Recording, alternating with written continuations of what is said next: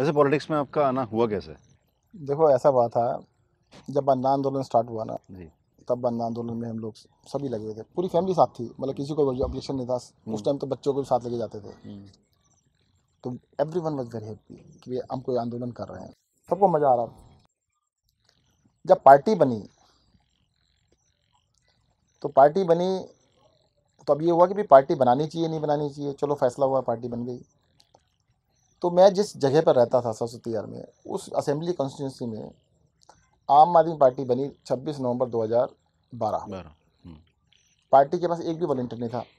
तो ढूंढ ढांड के देखा सत्येंद्र जैन है तो सही।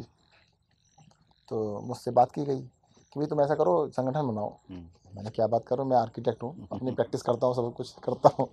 मैं किन चक्रों में पढ़ रहा? भाई पॉलिटिक्स में थोड़ा पॉलिटिकल पार्टी मैंने कहा आपको मदद करूँगा सब कुछ करूँगा पर I cannot be part of this कहते नहीं कोई बात, संगठन बना दो, आपको कह कौन रहा है? मैंने घर पे बात की वाइफ से।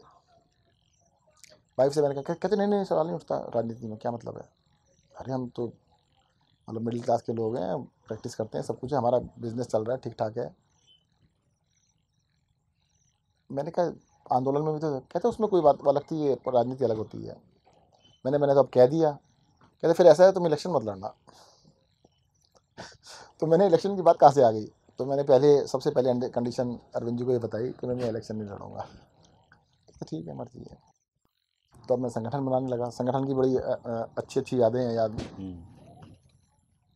एवरी संडे एक पार्क था उसमें जाके हम वो लगाते थे। कुछ लोगों को बैठा के। तो एक मंदिर था वहाँ जाते थे वहाँ से दरी उठाते थे। मेरे साथ एक बंदा होता था मैं गाड़ी लेके जाता था उसको साथ लेता था फिर हम दोनों के दरी लेके पार्क में जाते थे। पार्क में दरी बिछा देते थे। और इधर उधर से बीस, पच्चीस, तीस लोगों को इकट्ठा कर लेते थे। तो सबको मैं भाषण दिया करता था कि देखो, देश के अंदर क्या बदलाव की ज़रूरत है, ये क्या ज़रूरत है, वैसे करना चाहिए, ऐसा करना चाहिए। कभी किसी पार्क में, कभी किसी पार्क में, कभी यहाँ, कभी वहाँ, चलता रहता धीरे धीरे धीरे धीरे पार्टी का संगठन बना लिया। अब क्या हुआ कि 2013 में जब इलेक्शन थे, पार्टी ने सिस्टम बनाया था कि भाई जिसने भी इलेक्शन लड़ना है, वो फॉर्म भरेगा। तो हमारे यहाँ से बहुत सारे लोगों ने फॉर्म भरा। मैंने फॉर्म नहीं भरा था।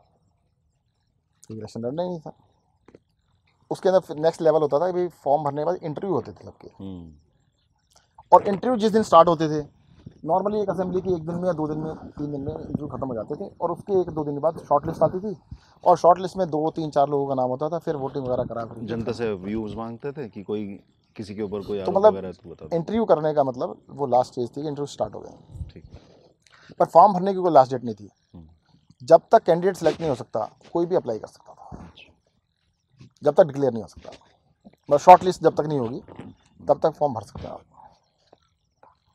तो मैंने फॉर्म नहीं भरा। जिस दिन इंटरव्यू शेड्यूल्ड थे पता लगा भी इतनी तारीख से इंटरव्यू शेड्यूल्ड है। उस दिन मैं इंडिया छोड़ के दस दिन के लिए विद फैमिली बाहर चला गया। और अरविंद जी को मैंने मैसेज डाल दिया कि मैं इंडिया से बाहर जा रहा हूँ दस दिन के लिए। और मैंने एयरपोर्ट से मैसेज किया था अपना सिम कार्ड अपना दिल्ली वाला सिम कार्ड बंद किया नया वाला डाल दिया। क्योंकि मुझे पता था कि कहीं वापस आ जाओ फ़ोन आ सकता है दस दिन के लिए मैं बाहर चला गया। हाँ, बड़ी फिल्मी सी कहानी है जिसे कहते हैं ना। जब बाहर गए समुद्र के किनारे में घूम रहा था तो सुबह सुबह की बात है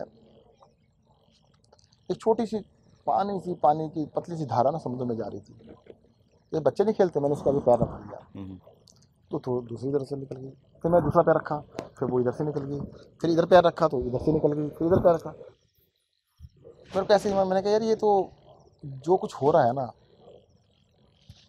उसको ज़्यादा रोकने की कोशिश नहीं करनी चाहिए। जो हो रहा है, ठीक है लेट इट बी तो मेरे दिमाग में ये आया कि अगर मेरे वापस जाने तक भी शॉर्ट लिस्ट नहीं हुआ तो मैं फॉर्म भर दूँगा। उस टाइम पे मेरे दिमाग में आया। अच्छा। जबकि नॉर्मली ये होता था कि भी जिस दिन इंटरव्यू स्टार्ट हुए दो दिन बाद शॉर्ट लिस्ट आ जाती थी। वैसे तो मेरे आने से पहले कैंडिडेट भी डिक्लेयर हो जाना चाहिए था। हम्म, दस दिन बाद वापस लौटे होंगे दस दिन बाद वापस लौटे शायद दो या दो जुलाई या तीन जुलाई का डेट थी मैं वापस लौटा शॉर्ट लिस्ट नहीं। अच्छा। मैंने फॉर्म भर दिया जी। तो फॉर्म भर दिया तो भाई फॉर्म भरने के बाद शॉर्ट लिस्ट में नाम आ गया फिर उसके बाद तेईस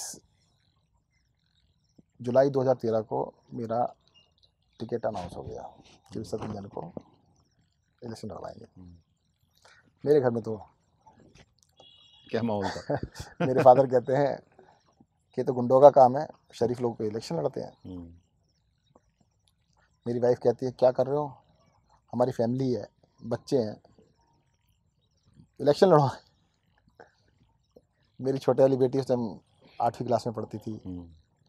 वो कहती पापा आप तो अच्छे आदमी हो आप नेता क्यों बन यानी अच्छा आदमी नेता नहीं बन सकता? अरे डर गई बेचारी। हाँ आठवीं क्लास का बच्चा। ठीक बात तो उसको तो इम्प्रेशन जो पड़ा हुआ नेताओं का वही था ना। हम्म, अब घर में तो तह- तहलका मच गया चारों तरफ़ कि ये क्या हो रहा है? भाई पार्टी का टिकट मिलने पे लोग ढोल नगाड़े बजाते हैं। मेरे घर में चारों तरफ़ से उल्टा चल रहा था। हम्म।